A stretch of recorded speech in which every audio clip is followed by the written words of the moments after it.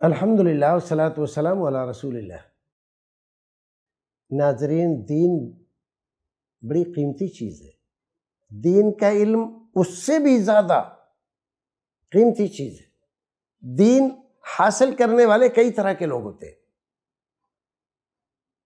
کچھ لوگ تو ایسے ہوتے ہیں کہ دین اس لیے حاصل کرتے ہیں کہ اپنی عاقبت درست کرے اپنی آخرت سنوارے اللہ کی رضامندی اور خوشنودی حاصل کرے جنت مل جائے۔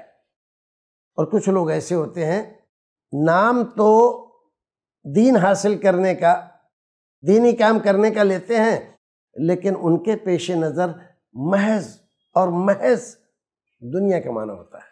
ان کو عمل سے، جنت سے، اللہ کی رضامندی اور خوشنودی سے کوئی لینا دینا نہیں ہے۔ مال آنا چاہیے۔ تو آپ جانتے ہیں، ایسے لوگ اللہ اور اس کے رسول کی نظر میں کیسے ہیں؟ حضرت ابو رضی اللہ تعالیٰ عنہ بیان فرماتے ہیں، اللہ کے رسول نے کہا، من تعلم علما مما یبتغی به وجہ اللہ، لا يتعلمه الا ليصيب به عرضا من الدنیا، لم يجد عرف الجنہ یوم القیامہ. یعنی ریحہ ایک آدمی وہ علم حاصل کرتا ہے جو علم اللہ کی رضامندی اور خوشنودی حاصل کرنے کے لیے حاصل کیا جاتا ہے، تاکہ اللہ راضی ہو جائے، جنت مل جائے، آخرت سنور جائے۔ یہ ایک خاص قسم کا علم ہے۔ لیکن ایک آدمی اسی علم کو حاصل کرنے کے لیے نکلتا ہے، حاصل کر رہا ہے، سیکھ رہا ہے، لیکن مقصد نیت، دل میں اس کے یہی ارادہ ہے کہ اس کے ذریعے سے مجھے دنیا کمانا ہے۔ رسول اکرم صلی اللہ علیہ وسلم فرماتے ہیں، لم یجد عرف الجنہ جنت ملنا تو بہت دور کی بات ہے۔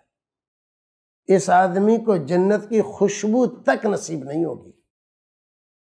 اتنے عظیم علم کو، اتنی اچھی اور بہتر چیز کو چھوڑ کر اس آدمی نے دنیا جیسی ناپائیدار چیز کو اہمیت دی، دین کا درجہ ہی نہیں گھٹایا، اس کی شان و شوکت ہی پر حرف نہیں لگایا، بلکہ دین کی بے عزتی اور توہین کی اس نے۔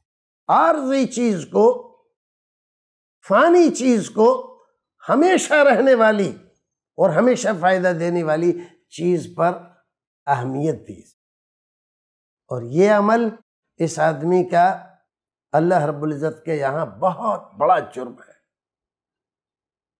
اللہ رب العزت اس کو جنت کا منہ نہیں دیکھنے دے گا۔ جنت میں جانا تو کجا، خوشبو تک نصیب نہیں ہوگی اس آدمی کو۔ ایسا کیوں؟ اتنا بڑا جرم ہو گیا۔ ہاں اتنا بڑا جرم ہو گیا۔